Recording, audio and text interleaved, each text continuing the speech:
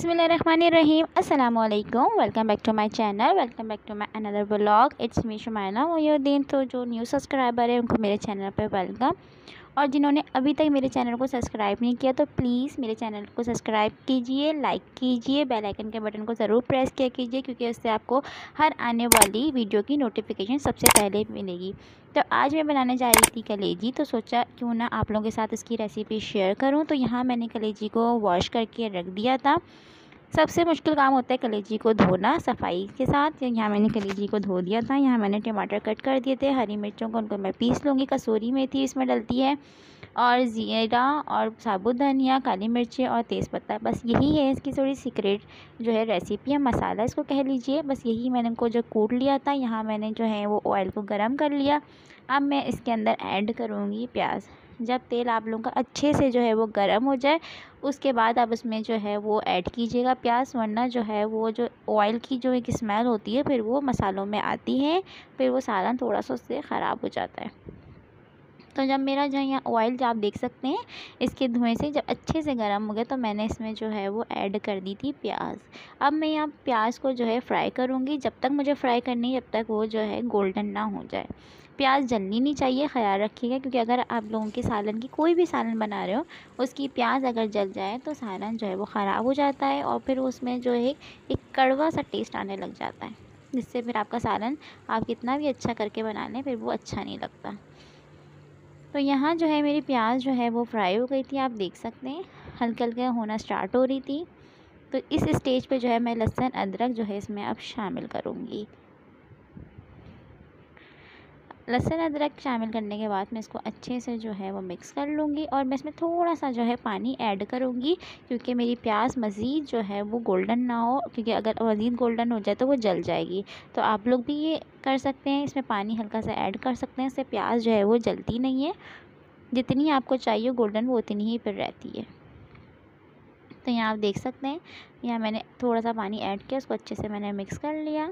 अब मैं इसके अंदर शामिल करूँगी जो मैंने टमाटर और हरी मिर्चों की जो मैंने प्यूरी बनाई थी, उसको मैंने पीस लिया था, ये मिक्सचर जो है मैं इसमें अब ऐड कर लूँगी।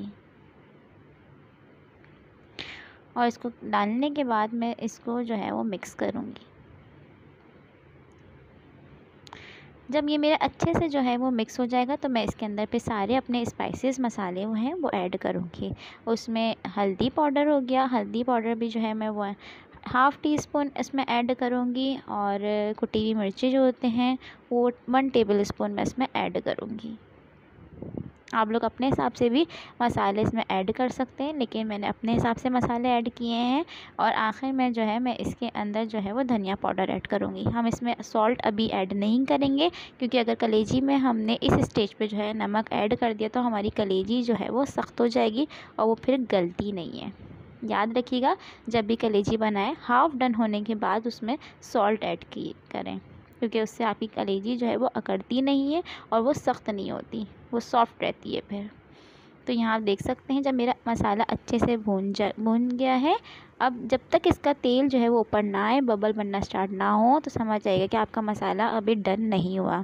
तो जब ये स्टेज आ जाए या बबल बनना स्टार्ट हो जाए तो समझ जाया करें कि आप लोगों का मसाला अच्छे से जो है वो मिक्स हो गया और वो फ्राई हो गया। यहाँ मैं मज़ीद इसको जो है वो चला रही हूँ। अब मैं इसके अंदर ऐड कर दूँगी कलेजी। तो यहाँ जो है मैंने कलेजी को ऐड कर दिया और इसको मिक्स कर दिया। अब मैं इसको अच्छे से भून लूँगी क्योंकि कलेजी की जो एक स्मेल होती है, एक हीक होती है, फिर वो भी इसमें ख़त्म हो जाती है। तो यहाँ फिर मैंने जब भूनने के बाद इसके अंदर, अब इसके अंदर शामिल किए कसूरी मेथी। आप जब भी कलेजी बनाए उसमें कसूरी मेथी को ज़रूर ऐड किया करें। जब मेरी हाफ़ डन कलेजी हो गई तो मैंने इसके अंदर सॉल्ट ऐड कर दिया। हाफ़ डन होने के बाद फिर मैंने इसको मिक्स कर लिया। आप देख सकते हैं। और जो मेरा बचा हुआ जो ये धनिया और काली मिर्चें और ज़ीरा जो था मैंने उसके अंदर, अब जो आधा बचाया हुआ था वो मैंने अब ऐड कर लिया।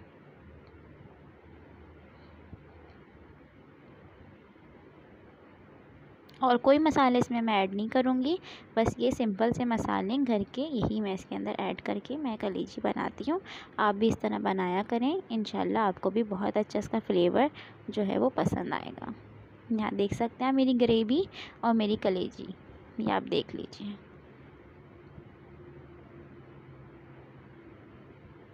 यहाँ मैं अभी आपको जो है उस कलेजी को जो है, वो तोड़ के दिखाऊँगी कि वो कितनी सॉफ्ट हो गई। ये देखिए, कलेजी बिल्कुल सॉफ्ट हो गई कि मैंने हल्का सा एक स्पून गया और वो अलग हो गई। ऐसी ही होनी चाहिए कलेजी सख्त होती है, फिर वो खाने में मज़ा नहीं देती है। अब यहाँ मेरे बबल्स बनना स्टार्ट होगा इसका मतलब मेरा सालन डन हो गया, आखिर में मैं इसके अंदर गर्म मसाला ऐड कर दूँगी। और ढक्कन ढक दूँगी। ये मेरी कलेजी तैयार हो गई। आप देख सकते हैं वाव कितनी यम्मी लग रही है। आप इसको रोटी के साथ खाइए, पराठे के साथ सर्व कीजिए।